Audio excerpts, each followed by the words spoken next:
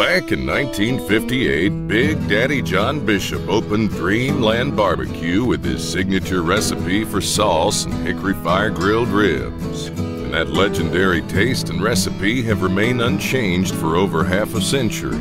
Dreamland now serves everything from ribs to pulled pork and chicken to sausage links and still uses that famous sauce. Come in as customers and leave as family at Dreamland. Ain't nothing like 'em nowhere.